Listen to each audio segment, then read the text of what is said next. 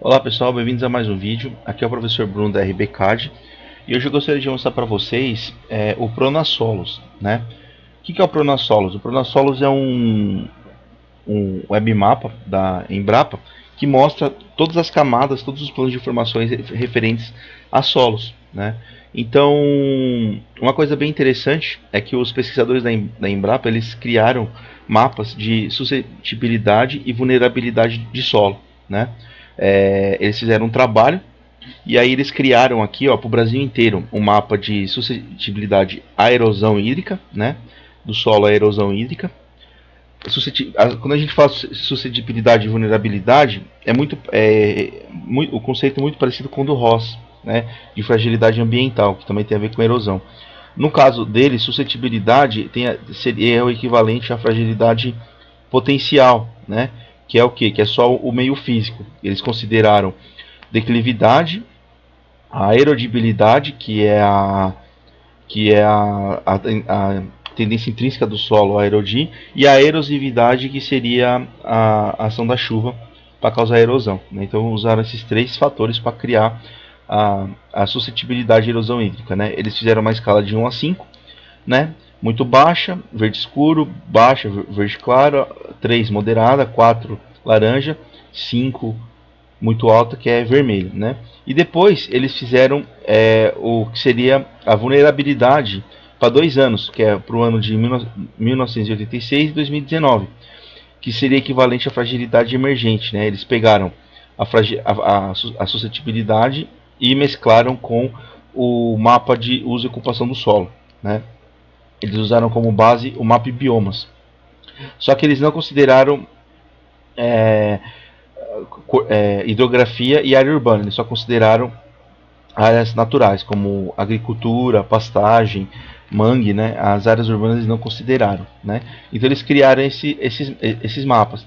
E além disso, tem aqui também a própria erodibilidade dos solos, né? Que é baseada no fator K, na, for, da, for, forma, da equação universal do, do universal do solo, na USL, né, o fator K.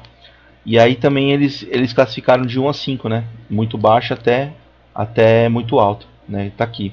Então todos esses mapas aqui, eles estão, eles estão disponíveis na, na, no, na plataforma Pronasolos. Você clica aqui, ó, vai abrir aqui, ó, tá vendo? Então aqui na, no Pronasolos é tudo referente a, a solos, né? Então, por exemplo, você pode, por exemplo, aqui, ó, tem as hidrografias, né? Aqui, ó, Aqui você vai ter as ideografias. E as camadas que interessam pra gente, eu vi aqui, ó, estão em interpreta... não, interpretações não. Estão aqui, ó, em mapas de atributo. A gente clica aqui em mapas de atributo, ó. Tá vendo aqui, ó? A gente vai ter aqui, ó, erodibilidade Brasil. Tá vendo aqui, ó, erodibilidade Brasil, ó. Então, por exemplo, a região aqui onde eu moro, que é a região de São Paulo, tá aqui, ó, tá vendo? Em vermelho a área urbana, né? Aqui, ó.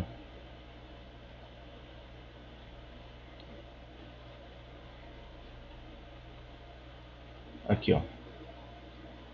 Cinza, né? A, é, ó, cinza área urbana. Se você clicar aqui, ó, na aqui, ó, legenda, ele mostra, tá vendo aí? Se você clicar com o mouse em cima, ó, ele vai falar o que, ó, tá vendo? Área urbana. Aqui, ó. O amarelo vai ser é um tipo de solo, né? Aqui, ó. O amarelo é solo é solo de erodibilidade média e etc, né?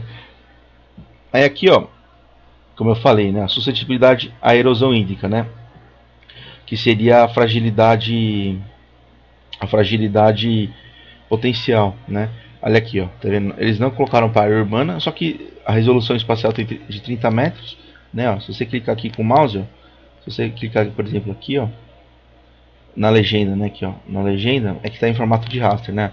Ele mostra, né? Aqui está suscetibilidade e aqui está vulnerabilidade, ó. Se você vir aqui, ó, vulnerabilidade para 1986, né? Ó. Tá vendo a vulnerabilidade para 1976 e a vulnerabilidade para 2019, né? Aqui, ó. Tá vendo? 2019 e 1986. A gente pode ver que é, a, a, intensidade é a mesma, só que o que aumenta é a expansão geográfica por causa da, do crescimento da, da, da mancha urbana, né? Então tem aqui, né, esses, esses dois aqui.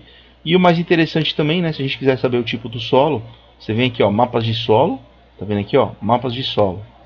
Aí aqui, ó, você escolhe aqui, ó, solos do Brasil na escala 1 para 250 mil, né, ó. Tá vendo aqui, ó? Isso aqui na escala 1 para 250 mil. Aí aqui você onde você clicar, ele vai falar, ó, argissolo vermelho. Só que tem o melhor para o estado de São Paulo, que é do mapa de Ross, né? Que é de 2017. Ele está numa escala acho que é de 1 para 100 mil, se eu não me engano. Tá? Então tem aqui. E o principal, né? Se a gente quiser baixar, tem como baixar no, no SIG? Tem.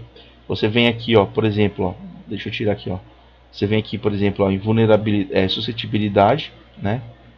Vem aqui, ó, clica com o botão aqui, ó, vem aqui, ó, metadados. Clica no, no botão de reticências, é, metadados e créditos.